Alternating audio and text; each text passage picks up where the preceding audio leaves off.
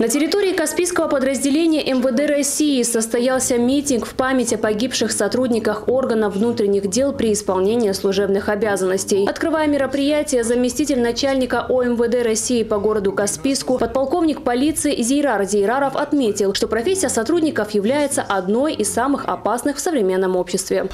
Сегодня мы собрались здесь, чтобы почтить память сотрудников органов внутренних дел, погибших при исполнении своего служебного долга наших коллег.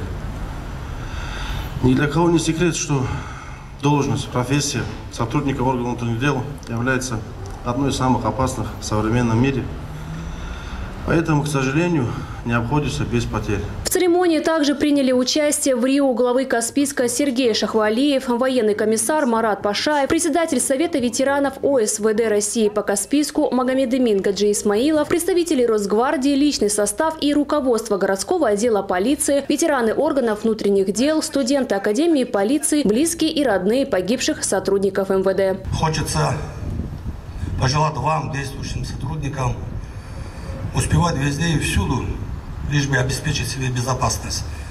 Самые незащищенные слои сегодня это сотрудники полиции. Потому что, говорят впереди красивые слова, неизвестно, чем это оборачивается. Поэтому берегите себя каждый выход на работу, чтобы соответствовал возвращению домой в семьи. Далее присутствующие возложили венки и цветы к мемориалу памяти погибших. Отметим, что при исполнении служебного долга с 1999 по 2017 годы погибло 11 сотрудников органов внутренних дел Каспийска.